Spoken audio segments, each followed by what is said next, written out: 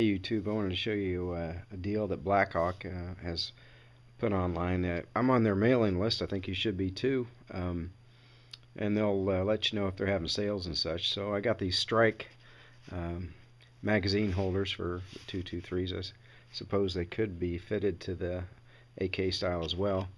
But um, three of these.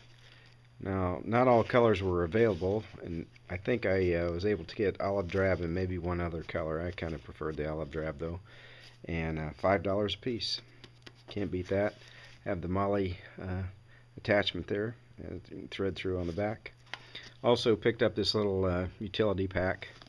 Same MOLLE uh, attachment system. Nice sized, um, ventilated. And I think that was only six and change, maybe almost seven dollars. But I mean, the whole thing together um, $22, 24 bucks, something like that. Pretty good deal.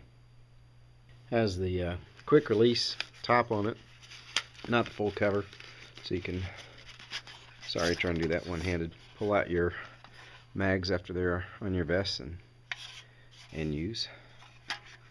I like the camo pattern on that. Alright. Well, that's it. Thanks.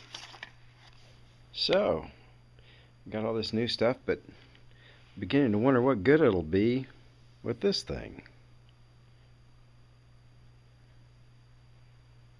Not sure I can carry all my black powder and lead and fetch it out real quick with this stuff.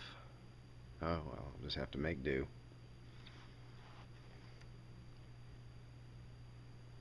Fifty-eight caliber. Ooh.